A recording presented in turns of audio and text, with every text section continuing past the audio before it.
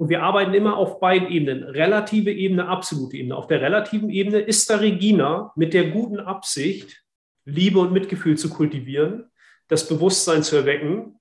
Auf der absoluten Ebene ist da weder Regina noch Nils, sondern ist nur, was ist.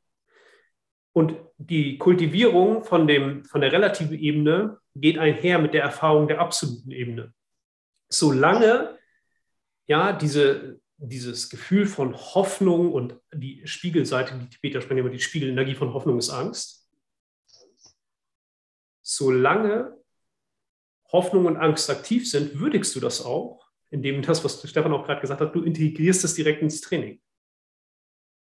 Zweifel taucht auf, Training. Verwirrung taucht auf, Training.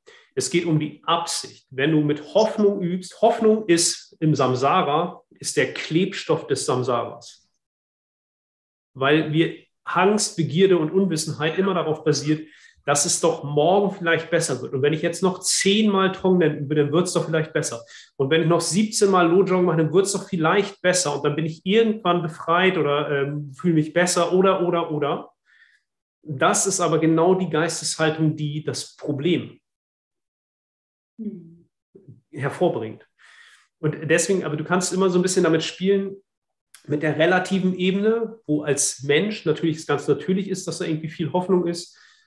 Und ähm, das aber einfach als menschlichen Aspekt betrachten, ins Training integrieren und dir gewahr sein, dass es ja auch noch etwas gibt, was über Hoffnung und Angst hinausgeht, nämlich und nichts, das ist ja jetzt nichts abgefahrenes, sondern etwas einfach, wo du dir bewusst wirst, dass du dir dessen bewusst bist. Du bist dir Angst und Hoffnung bewusst.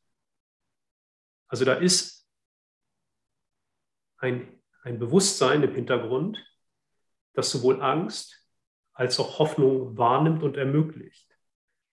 Und wir sind sehr darauf konditioniert, immer direkt auf die Erscheinung im Geist zu schauen, also zum Beispiel auf die, das Gefühl von Angst oder Hoffnung.